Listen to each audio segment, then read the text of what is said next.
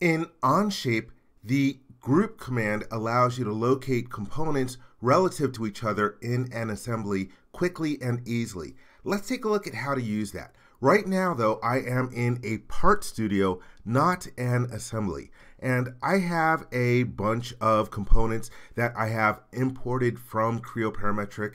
Beware that when you're working in an assembly, this command works with either native Onshape geometry or imported geometry. Let's start off by creating our new assembly. I will click on the plus button down here and then create assembly. Let's go to the Insert button to bring in our Part Studio. And I'll just select the entire Part Studio here. You can see the different components. And I'm just going to drop them in here right on the origin. That's good. Let's hit the check mark. So I've got my different parts in here. And I'm going to fix one of them to begin with. Let's select this component over here. Hold down the right mouse button and then choose Fix and there you can see the little icon indicating that the part is fixed. Now let's create our group of components. Let's click on this icon here to create the group.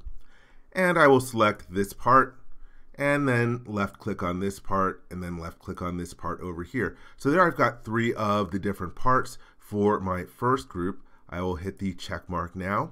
I have another couple of components. I have a crankshaft and a flywheel that need to be located relative to each other as well. So let's create a second group.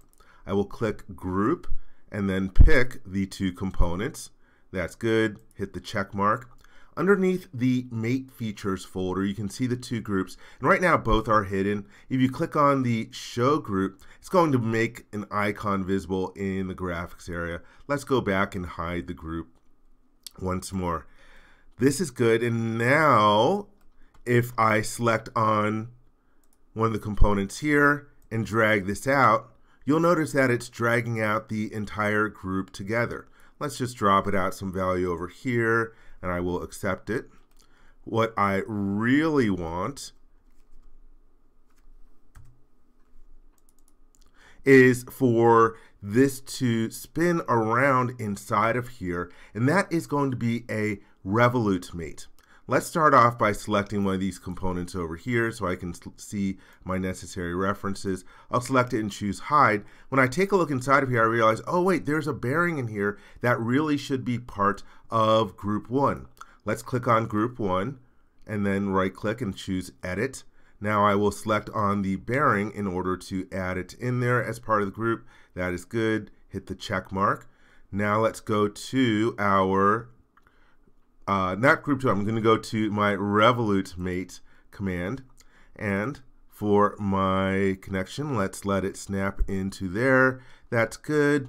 For the other mate, let's let it snap in here.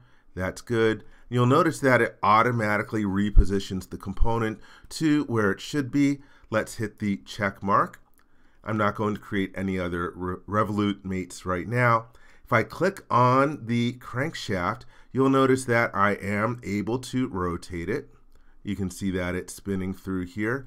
However, if I try to drag it, it's not moving. It's not capable of translating because it doesn't have that degree of freedom. So that is good. Let's now bring back the front of the engine block. And that's how you can use the groups command in order to facilitate the creation of assemblies. I hope you enjoyed this video. For more information, please visit www.creowindchill.com. If you learned something from this video, please give it a thumbs up. And if you like this video, please click the subscribe button to be informed when new videos are uploaded. Thank you very much.